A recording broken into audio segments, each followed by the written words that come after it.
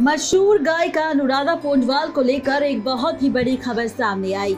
जी हाँ जैसा कि आप जानते हैं कि कल बीते दिन अनुराधा पोंडवाल को गहरा सदमा लगा, क्योंकि कल के दिन अनुराधा पोंडवाल के बेटे आदित्य पोंडवाल का 35 साल की उम्र में निधन हो गया।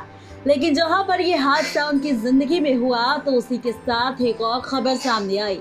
ये खबर है केरला की एक महिला की। जी हाँ केरला की एक महिला ने खुद को अनुराधा पोंजवाल की बेटी बताया है और उनके खिलाफ पारिवारिक अदालत में केस भी दर्ज करवाया।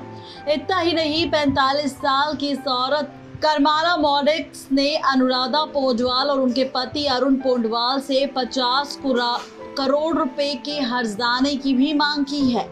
केरला की महिला करमाला मॉडेक्स का दावा है कि अनुराधा और उनके पति अरुण पोडवाल उनके जैविक यानी कि असली माँ पापा है। अनुराधा पोडवाल को लेकर करमाला मोडिक्स ने यह भी दावा किया कि साल 1974 में उनका जन्म हुआ था, लेकिन जब वो केवल चार दिन की थी, तभी अनुराधा ने उन्हें पौनांचन और अग्नेश को सौंप दिया था। औरत ने यह भी कहा कि अनुराधा पोंडवाल और उनके पति काफ़ी बिज़ी होने के कारण उसकी देखभाल नहीं करना चाहते थे। खबरों की माने तो करमाला मोडिक्स ने ये भी बताया कि जब उनके पालक पिता पौनांचन ज़िंदगी और हादसे की जंग लड़ रहे थे, तभी उन्होंने ये सच बताया था कि वो उनकी नहीं, बल्कि अनुराधा पोडवाल की बेटी है।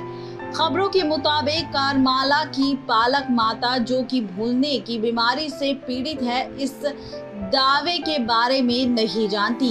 खबरों की माने तो पोनाचन और अग्रेस के तीन बच्चे हैं और उन्होंने करमाला को उनके चौथे बच्चे के रूप में पालन पोषण किया।